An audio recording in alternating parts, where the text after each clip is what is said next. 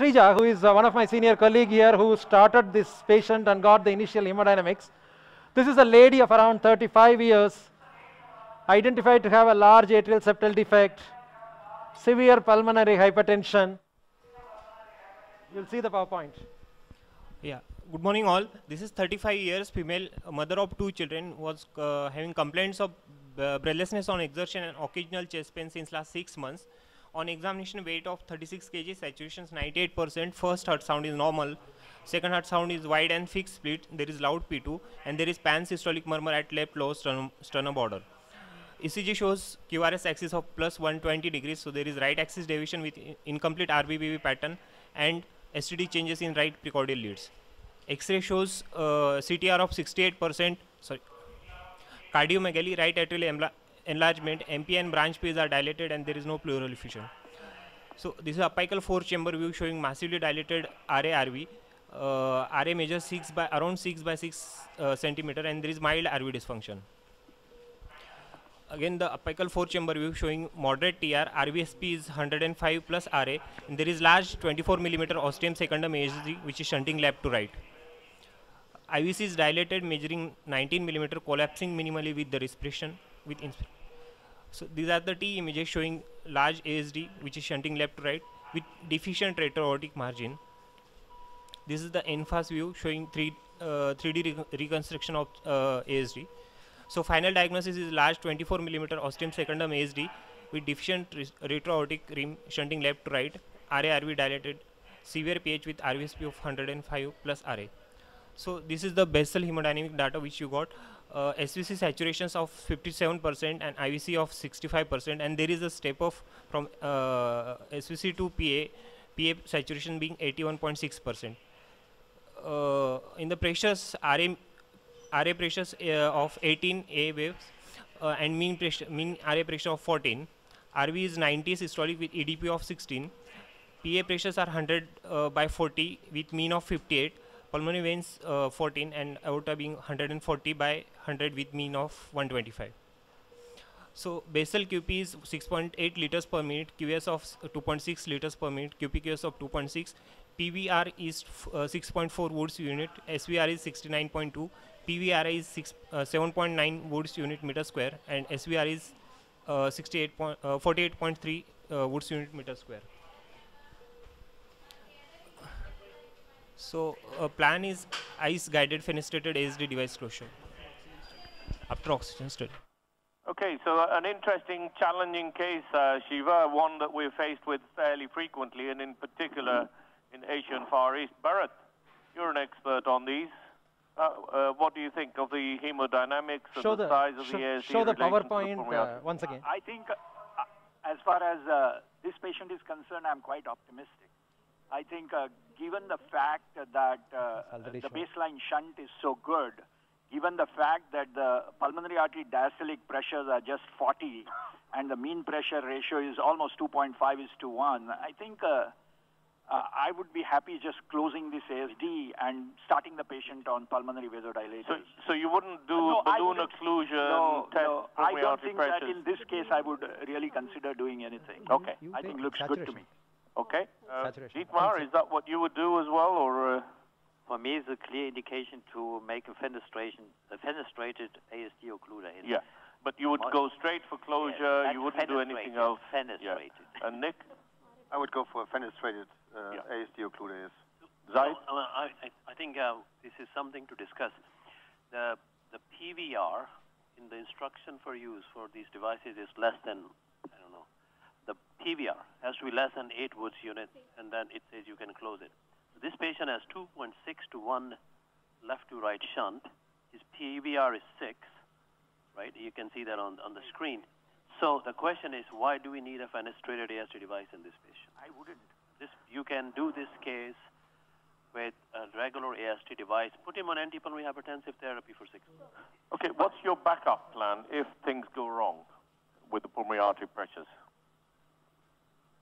Um, I- I i.e. don't they think don't fall. if the data is correct, things should not go wrong. Yeah, That's but the if key. they do, what's but- your backup plan? But the point, the point is the following, and we, we all know that if you have elderly patients, Go back into the 60s, 70s with an ASD and these wood units, then you say, hmm, this is a long-standing left to right shunt, etc. That's a young lady.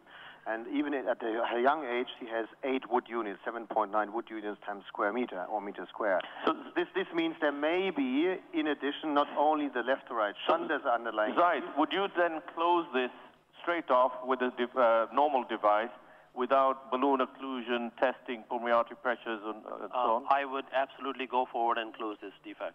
Uh, see, uh, Shaq, we have really looked at our data in Yeah. this particular subset of patients. These are young adults, and this subset is very commonly seen in India and other eastern part of the world. Yeah. Other, other Uh, these are young adults who have significant pulmonary hypertension, and some of them come with a very large baseline shunt and have a, a low pulmonary artery diastolic pressure and a very large anatomical defect. Yep. These are the patients who are known to do very well following their closure on pulmonary vasodilators, with most of them pressures dropping to less than 50% Yeah. In the So long run. Is this 24 millimeter ASD out of proportion to the amount of pulmonary hypertension, do you think, or not? Is this compatible? I think that in this subset, I, I have a reason to believe that a part of this pulmonary hypertension is flow related, and you will see over a period of time, once you cut down the flow, Okay. the pulmonary artery pressure In, will drop. in the down. audience, show of hands, those who would close this defect with a normal, non-fenestrated device. Normal. Okay, good. And those who would use a fenestrated Quickly device, uh, well, that's very helpful. Uh, Shiva, it's 50-50 for you, Okay, so you'll have to phone a friend now. Shaq, uh, Shaq, I want. Shiva, you're going to do what you're going to do. Uh, Shaq, Uh, uh, Shiva, hold on. Jay Young's got a question or comment to make. Jay Young? Uh, it's a comment. Uh, I, I believe that uh, most of the, the patients like this uh, doing well after closure, but uh, in very small portion of patients, they may show some aggravation or the less improvement after closure. So we should be careful. The, if you close uh, 100 patients like this, and if uh, you experience uh, three, four patients who have a significant residual pulmonary arterial hypertension, it's going to be a problem. So I'm def- definitely uh, close with the. Fenestrated. uh, Okay. Oh, uh, yeah, Uh, Milan? an- another short comment. It depends where the patient come from. If he from high altitude, I would definitely with fenestration. this Oh, is. uh, I suspect this is low altitude.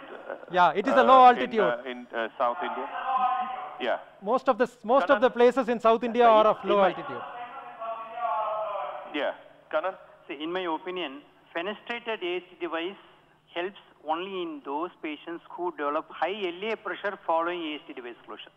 That is, who have high LV High LA pressure after. following ASD closure, large ASD. So the fenestration helps them in reducing the LA pressure and preventing the immediate post-op pulmonary edema, but not in such cases. These cases, either you decide to close or not to close. If you decide to close, it's a regular ASD device closure. I will go for regular ASD device closure. Okay. There, Regular. there, there, there are two reasons to have an Yeah, hold on, Nick. Nick, yeah, we'll come back to this. Uh, Shiva, because otherwise we'll run out of time. Shaka, Go Shaq, uh, I, the proponents of uh, direct ASD closure, uh, who without any fenestration, were also adding one more caveat. They said that they will give six months pulmonary vasodilator, one year pulmonary vasodilator. Why then? Why do you want to give? So that means there is an ambiguity of the decision-making process. That means there is a role in partially closing months. it. Not six months, Shiva. They may require pulmonary vasodilators lifelong. Lifelong. And believe me, even with your fenestration, don't think that they are not going to require pulmonary vaso- So, vasodilators. so, Shiva. so if, if there is a role for pulmonary vasodilator, do you think there is a role in partially fenestrating them rather than completely closing? Show hemodynamics live. I, I don't, I mean, I'm not saying that don't do it, but I would, in my practice, given this hemodynamic data and this clinical Hemodynamics picture, live. Would not, uh, would not hesitate closing the defect Shiva, completely. let me get you to do things whilst we're discussing as well, so because otherwise we won't progress. I Okay. think one important point to consider is what were his satu- this patient's saturation six months ago before he started human pulmonary vasodilator therapy. This patient has pure left to right shunt. So I am not sure why you need a fenestrated ASD device in a Zahid, patient with pure Zahid, this is the this is the pulmonary artery pressure after 20 minutes of oxygen now. The- okay. the But pulmonary- What was the sat? uh, six months ago at rest in No, air at home. saturation even today is normal, 98%. Even today is full, Normal. normal. Okay. It is spontaneous breathing? Hello? Spontaneous breathing, the patient?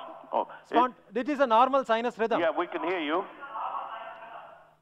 Yeah, is the patient on ventilator or No, spontaneously breathing? spontaneous breathing. She's just uh, on mask oxygen. Okay. Okay. Uh, she's fully conscious, okay. fully breathing on her own, listening to our conversation. Okay. Relax. Okay. So uh, there we are, 100% or uh, oxygen treatment. There's the pulmonary artery pressure. What do you do? 92, 37, 56. Again, what? What will you do now? He's showing the pulmonary artery pressure in oxygen. Yeah, in oxygen, I would not, never Hello. use oxygen for testing a patient with a shunt with uh, oxygen with oxygen because uh, all calculations are wrong uh, afterwards. So uh, I would look, as uh, Bharat have mentioned it, to the diastolic pressure gradient is 0.4. Those the patient have a reactivity of the pulmonary artery system. I can see it by the numbers, but again, why an ASD patient becomes symptomatic? Why a patient becomes symptomatic in 60 years, Right. in 30 years, in 20 years. That Very is the quick, most yeah, very quickly because we're already in the other lab. Right. So, See, there is a very wide pulse pressure in the pulmonary artery. yep. So it's majority are floor related. The diastolic pressure is so low. I'm sure once he closes the ASD, on table itself, our systolic pressure will be much lower than 93. Okay. Right, Shiva, uh, uh, Tin is pushing us as well, so we need you to either make a decision or proceed. Sure. Okay. So what are you going to do? I, we are, I see the, the pulmonary artery pressure at the end of 20 minutes of oxygen is not showing any reduction in the PA pressure. I agree that there is a 2.6 is to 1 left right shunt. The basal PVR index is close to 8 wood units. I feel that this is Yeah. this ASD should be closed with a fenestrated device because you can always Thank you. go back and if you want to enlarge the fenestration, do it. You are right. Yeah, yeah. Shiva, go for it. We, we know you're going to do what you're going to do, so Yeah. that's okay. But, but also, uh, this is controversial in many ways, isn't it? As shown by the show of hands, it's 50-50. Yeah. You know, you, I mean, you're not going to listen to guidelines or Physiology is not democratic. No, Hello. no, no, Zahid, Zahid, let me, no, no, let me, let us make it clear. What is the, what, on what guideline you are stating that you want a complete closure on this ASD when the pulmonary artery pressure is not showing any Shiva, fall? don't shout.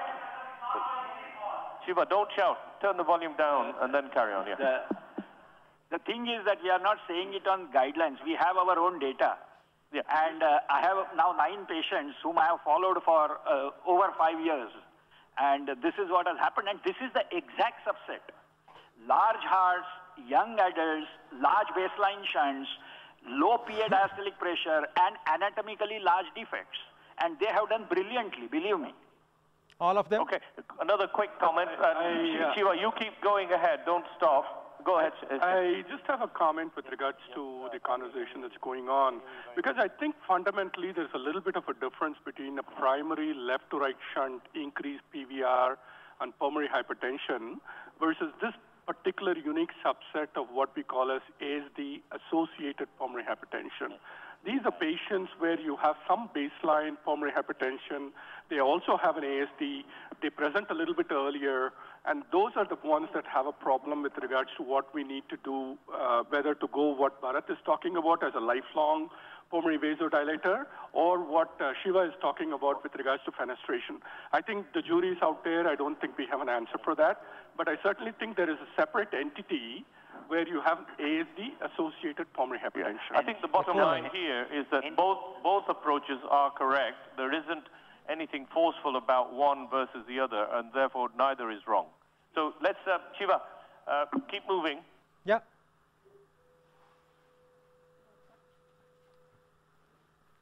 Get, get the sheet.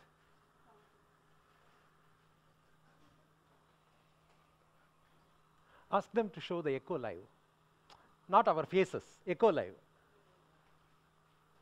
Uh, no, echo 50%, fluoro 50%, hemodynamic 50%, not our face, not the camera. They're gone to the other center. Yeah.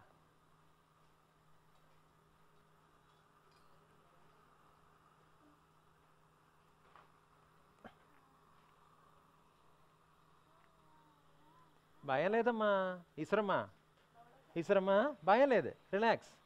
Oxygen can be disconnected.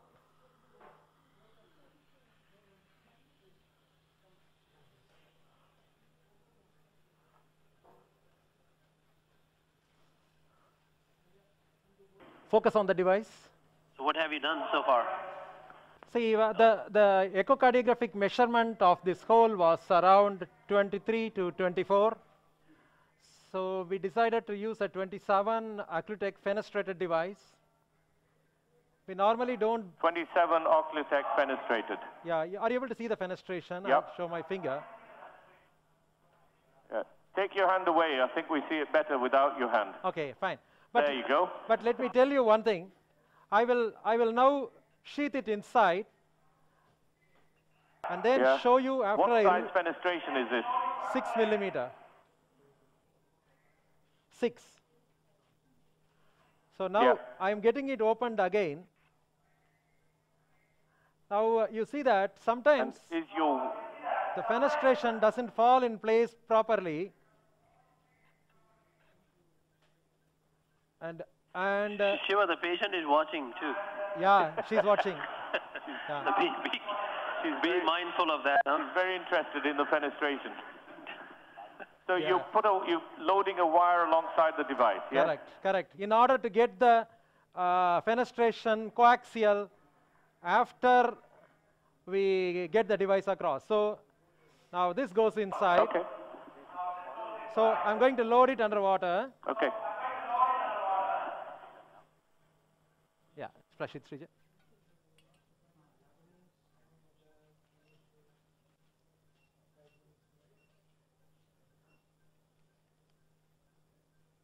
So now the whole assembly is loaded on to the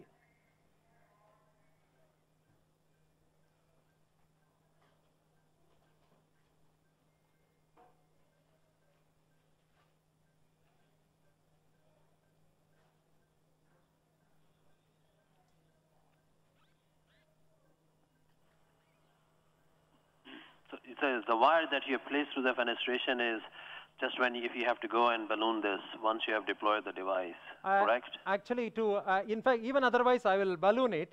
The reason is to make things coaxial. Yeah. At this point, Dr. To make, Sri- to make Srij- things complicated. To make things complicated. Okay. Uh, Shiva, is the patient in sinus rhythm or has some form of atrial tachycardia? the patient had an atrial flutter, and uh, we gave metoprolol, and have, right now is on a 2 is to 1 AV nodal block. Current, Okay. Currently, we are giving amiodarone as an infusion to achieve a medical cardioversion of this flutter. She was in sinus rhythm. But if it doesn't get con- I will, I will So would you not want to convert this rhythm? I will cardiovert if. Uh, would uh, you not want to convert this? Uh, go on, go on. Say, An you say. additional reason for fenestration, when I want to mention it. Yes. It's an additional reason for fenestration. What's the The additional reason? atrial fibrillation or the atrial fluttering. Or in case you electrophysiologists yes, need yes, it. Yeah, yeah. yes. Because, yeah, and that- make it Yeah. And Okay. you have to consider why You it hadn't hap- thought of it before, did, had you? Now you have. No, no, no, no, no. That is, uh, Slightly, you have to consider deployed. why it becomes an ASD patient symptomatic. And he becomes symptomatic because of arrhythmias. He becomes symptomatic okay, when no, he has a pulmonary hypertension off. or diastolic dysfunction of the left ventricle. So you're Yeah, doing this uh, largely with ice catheter guidance or a combined fluoroscopy and ice? Com- combined fluoroscopy and uh, take away our pictures. Uh, show fluoroscopy. Yeah, Take the camera out. Okay. yeah, thank you. Yeah. Now deploy the array disk. So at the moment, the left atrial disc is around Pull back. ish. Yeah. Yeah. Now uh, I want a little bit better confirmation of the ASD device. So Yeah. So there's something preventing it from becoming a flat disc. so what part, part of it is maybe due to the wire also. The wire and the Yeah, exactly. Yeah. So I, I will just get it a little bit more aligned and then uh, uh, I am just pulling the wire so that it is free in the left atrium. It, go, here goes. It's flat now. Yeah. That's the wire. Maybe the fenestration doesn't want to stay open. It says it's not needed. Poss- possible, yeah. You know?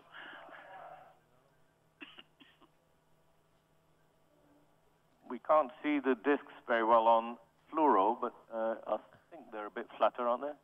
I think the left disc is much flatter now, Yeah. Shiva. Flatter, yeah, yeah.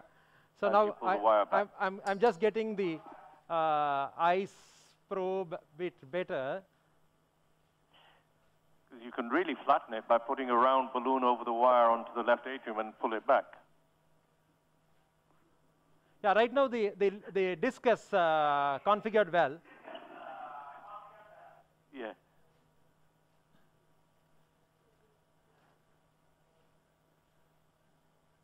So what what do you think? We haven't got a really good ice picture. Yeah, so actually the, there is some, uh, the sheath is uh, uh, tight for me. It's a 10 French Acunav system and uh, I am on a tighter uh, groin sheath. I'll try to, I'll try to sort this out. Okay.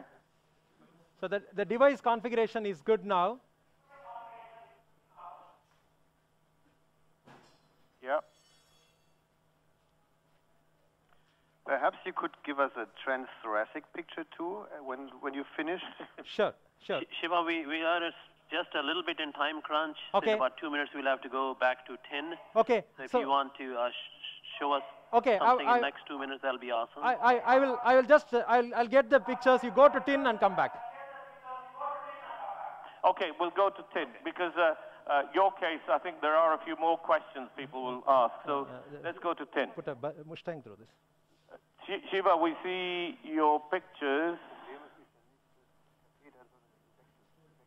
Shiva? Yeah, yeah. Are you, are you, see, I, I will show you, show the two previous pictures. Fluoro previous, Yeah. So fluoro, We, we're back with you. Previous fluoro, previous fluoro, previous. So what we did was uh, we, uh, we uh, aligned the uh, fenestration across uh, with a balloon. Next picture. So then uh, the next picture. Next. Now we have taken out the balloon out.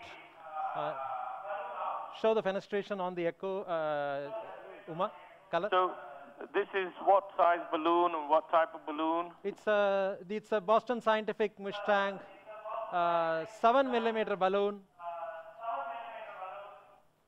Seven, okay. Okay. And what are you trying to do? Just making sure that the fenestration is circular? Uh, yeah, no, trying to make the left atrial part of the fenestration and right atrial part of the fenestration come coaxial to each other. I see. Some- Okay. Shiva, There is a significant increase in the tricuspid regurg. You think? th- There is the same, uh, the, Dr. Bharat, we are not, uh, we are not close to the tricuspid valve. Take out No, the, no, not because of that. Not because of that. Sometimes atrial arrhythmias can also do it. It's Yeah. not necessarily But that re- was there before as well, wasn't it? Yeah. The, the, there, there was, there was a elevated right atrial pressure of 14 millimeters prior to the procedure.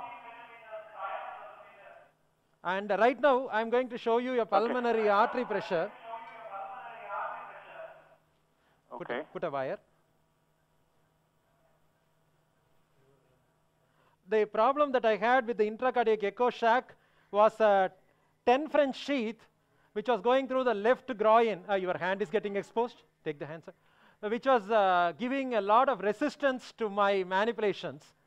So I am, I am planning to upsize uh, the groin sheath. But since that is going to take a little while, I will show you the PA pressure. Yeah, PA pressure. Milad. What's the rationale behind coaxial position of the fenestration? I couldn't understand it. Um, okay, so the question here is that Milad didn't understand your coaxial uh, position of the fenestration. In the Can you past, explain it a bit more? Yeah. In the past, when we have fenestrated by customizing across an Amplatzer device, we have realized that while we are making the fenestration, the left atrial and right atrial holes will be aligned properly. But you load it into a sheath, push it back, they will go off track. So, right now get a picture. So, so uh, we have uh, we have understood that if we try to make it coaxial, it's slightly better to keep a uh, better uh, alignment of the two holes. Hemodynamics live. So hemodynamics anyway, uh, live. Hemodynamics. So uh, one of the reasons initially in 2004 when we did the first fenestration actually with the amplify, remember the fenestration has to go through the right disc, the waist, and the left disc, right? So once by the time you put the device in, the alignment is not good. So in fact, we had Camera a out, tent couple. echo. So, Camera out, pressing echo. hemodynamics. Back to the hemodynamics. Yeah. PA pressures are impressive. So, now we, we have the clear indication for the fenestration. I want to repeat it. The diastolic pressure is higher than before. The resistance, the calculated resistance was 7 to 8. Some surgeons say that is or not suitable for operation. So now the Zoom the patient needs, okay, uh, maybe a drug treatment. But in the other side, every ASD patient with a pulmonary hypertension have a disposition, a genetic disposition for pulmonary hypertension. And to have this patient on the pop-off ventil for the right to left shunting, but even for left to right shunting if the left ventricle have a restriction, it's so enormous important. I can only say Yeah. I want to say it and I want to tell it in the world. you, you are in 80% you are right that you don't need it. But if you need it, you can be happy Yeah. that you have it. Dietmar, you're very emotional and I appreciate that, but still there is no need for this fenestration. Well, I think there is. Yeah, this, this argument will carry on. We'll never have a solution to it. But Uh, the only uh, question I wanted to ask you, Shiva, is uh, do you plan to convert this patient into sinus rhythm in the lab yeah. itself? Right. Because it has a lot of implications Right. in terms of post-procedural management. Right now, I'm going to cardiovert her electrically. Yeah. Uh, get her Before back you to release the device. exactly. Exactly. That is the, Yep. that is always the protocol. We will, we will before release we are going to cardiovert her. Sedation Great. with uh, ketamine 30 and midas okay. 2. So, So, shall we Shaq, uh, leave you at the moment? Shaq, to about uh, 15 minutes later, I will show you an intracardiac echo picture with a, with a larger Okay. femoral sheath. All right, we'll come back and uh, get an update. Very quickly, uh, Hujjat uh, Murtazia has got a comment or a question. Uh, I have a question. Um, is possible we do contrast echo at now for showing the left to right or right to left shunt at now? Well, they can see that on color at the moment. see on colour. It is left-right With shunting. With the sheath, uh, if you do a if you do a bubble study with the sheath where it is, you'll have some right and left shunting because it's directed at the fenestration. And with the color, it's a pure left to right Yeah. shunt. Yep. Okay. Uh, so Shiva, we'll come back to you later on. Sure, sure. Yep. But excellent demonstration of this case. Uh, very educational indeed. Okay. Well, we Yeah. uh, can see the fluoro images. Okay. Can you hear us? Yeah, I'm able to hear you well. Can you show the color across the uh, uh, Okay. fenestration? Uh, Shaq, the, Shaq, are you here, uh, seeing the uh, intracardiac echo? Uh, Echo bigger? uh, can you make the echo picture bigger? Yeah, echo bigger. And take the fluoro off. Yeah. Perfect. Perfect. So, So we see we see shunt for sure on on yeah. You think this is through and through? yeah, through and through. Uh, the I, I will- I will give one Okay. uh, contrast. Uh, can you can you uh, go uh, without color live? Live. Shiva, that blue pressure is a aortic pressure or a pulmonary artery pressure? It's a blue is the aortic pressure. What has happened is I gave amiodarone and metoprolol, so she continues to be in a junctional rhythm. Make the fluoro uh, uh, hemodynamics bigger. Hemodynamics bigger.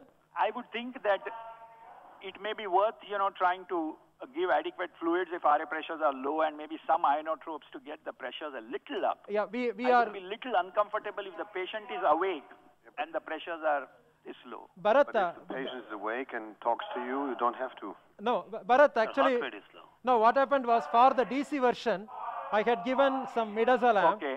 That midazolam reduced Oh, the okay, pressure. okay, okay. And uh, on the top, on the top okay, of it, we also gave some uh, beta blocker. Show the fenestration okay. now. Okay, I understand. I, I understand. Okay, shows the uh, uh, echo or fenestration color Doppler. Presumably. echo bigger? Yeah. You are able to see uh, the uh, flow. Basically, since she is breathing in and out, there are times at which the fenestration comes in picture and then times at which the fenestration goes out. You are able to see the hole in the left atrial disc, a round circular hole. Shiva, I'd see a lot of flow inside the discs. Yeah. Yeah. You know, I mean, I, I'm not, you know, I mean, I think I agree with you that there is definitely has to be some left to right flow or shunting through the, but we, I mean, I, it may be very difficult because they are not aligned. You were looking with transthoracic echo, sometimes either Can you- transthoracic or transesophageal. Can you see that now? Uh, Gives you make, better the, flow. make the picture bigger. uh, Can you see that on the corner? I mean, we see on the right side, Yeah. Kevin has a comment. Go ahead, Kevin. I wonder where you're sort of Zoom wondering off. about the alignment of the Zoom- discs, you know, by with you know, your wiring thing, whether you'd actually be better to put an atrial flow restrictor in the fenestration and line it up. I think a stent, which I think people have, have done, probably protrudes a bit mm-hmm. too much in these cases, but you, you have access to You the too much zoomed. atrial flow restrictor. Reduce the They zoom. Would- and they probably fit in quite nicely in these devices. We actually put Corey stents inside these when we started. Did you doing give uh, norepinephrine? But they're gonna- right? they're gonna jut out a lot. Okay, but but you're right. Shiva. I mean, flow restrictor may be better. Shiva, did you give norepinephrine a little bit? Uh, no, I gave atropine. 20? Atropine. I Atropine. would give uh, norepinephrine, not atropine. We should move otherwise. Because the patient have a very low pressure and a heart rate. Shiva, I think we have demonstrated the fenestration. We could leave you alone Yeah. while you um, are able to increase, improve our pressures, and we can come back to you Sure. when you have another case. Sure. We can go back to our talks if that's okay with you. Sure, Yeah. sure. Okay. Sure, All right. sure. Thank, you, Thank you very very much. Okay. Uh, Shiva, you're live. Sa- uh, Zahid, uh, we had uh, yeah, metoprolol and amiodarone induced uh, sinus bradycardia with junctional rhythm. Uh, right now, uh, uh, then the patient is on and off, coming back into sinus rhythm. You can see that uh, there are uh, times at which she is in junction, the, times at which she is coming back to sinus. The pulmonary artery pressure is about 53 mean, and the aorta is 97 mean. Uh, the intracardiac echo is showing the left-right flows, and uh, we are just getting re- getting ready to release the device. Okay. So, I mean, I think you see better flow on echo now. I know we don't see the left side, but definitely it shows that the fenestration is open because there is definitely left to right shunt. Yeah, the the Right. the rhythm part. If you look at the ECG, make the ECG bigger. Uh, ECG bigger. So uh, she she uh, comes back to sinus rhythm occasionally, but uh, stays in. Uh, uh, see see there are there are the the th- second and third beat are sinus. So she's uh, she's yet to fully come back from the effect of amiodarone and uh, beta blocker. So I'm going Okay. to I'm going to Shiva, release. what medication? yeah.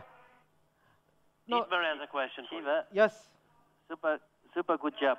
My question is, which uh, drugs did you use for resuscitation the patient? Uh, and the, the second question is, what is the gradient across uh, fenestration? You see in relative high flow. Yeah. Okay. So, Put the Doppler. and what is the right, right atrial pressure and to estimate the left atrial pressure? And I think the, the lady is young, but maybe is she Freeze it. Yeah. See the the intra the intraatrial gradient is less than one millimeters of mercury. It's four. Yeah, okay. little less than so four. the left atrial pressure is four millimeter higher than the right. What is the right atrial pressure now? Uh, see, the, I have to take out I- the ICE catheter because uh, there is a leak of the hemostatic valve. So if I take out the ICE catheter, then I can get you the right atrial pressure. Yes. This fenestration have a good chance for resuscitation if you have a right failing as a left heart failing or a combination of both. So I, I guess, and it is very nice to show this uh, color flow uh, uh, for monitoring, even in a critical situation, it's a very nice tool. Fluorobic. Uh, Okay. Uh, any other questions from the audience? Comments? So the device is released now. Shiva, Jay has a question or a comment. Yeah. So there was some discussion about the, the fenestration is needed or not in this patient, but uh, in many patients with severe pulmonary arterial hypertension, the patient may uh, show uh, intermittent uh, aggravation according to the respiratory disease. Or in this patient, there was uh, some atrial uh, arrhythmia. The patient uh, developed atrial arrhythmia. The pulmonary arterial pressure may aggravate. So, so also also exercise may induce some aggravation of pulmonary arterial hypertension. So in for the patient safety, this kind of patient, I think uh, definitely fenestration is needed. Okay, thank you. Go ahead. Okay. Just a simple comment for Shiva regarding when the device takes uh, a cobra shape in the left uh, side. Yeah. So uh, maybe due to uh, undersizing the sheath or keeping the device for longer time in the sheath.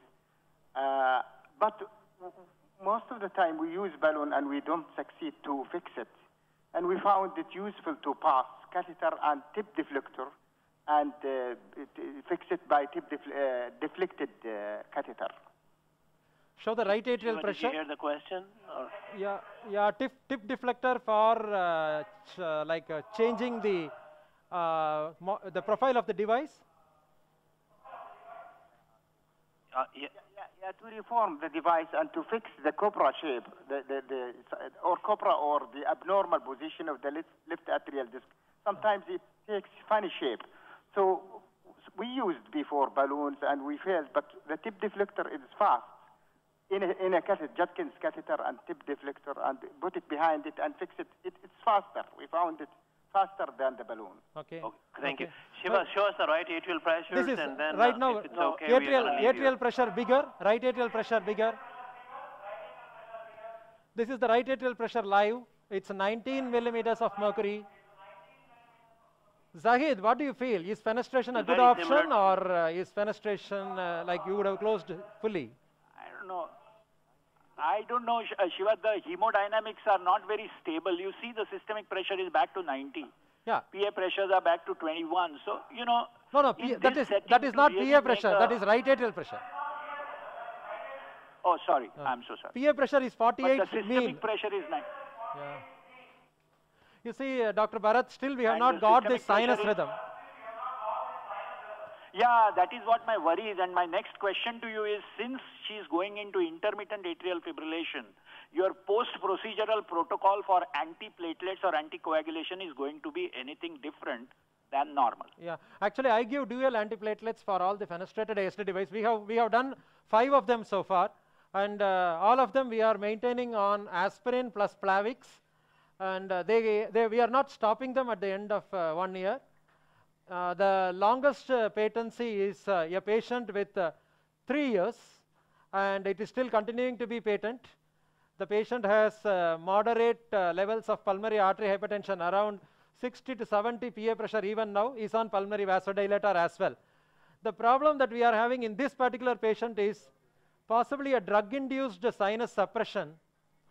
See, still she is in a junctional uh, rhythm. She is not come back to a stable sinus rhythm. It's not atrial fibrillation. It is uh, junctional rhythm. Yeah, Shiva, any last thoughts? Um, if you're done, we're going to leave you with excellent uh, demonstration of two good cases that you showed us, three actually. And if you have another case in the next 40 minutes, we'll be happy to come back to you. Uh, no, my, Uh, any last, my last next word uh, for my, you? my next uh, presentation is for the coarctation session.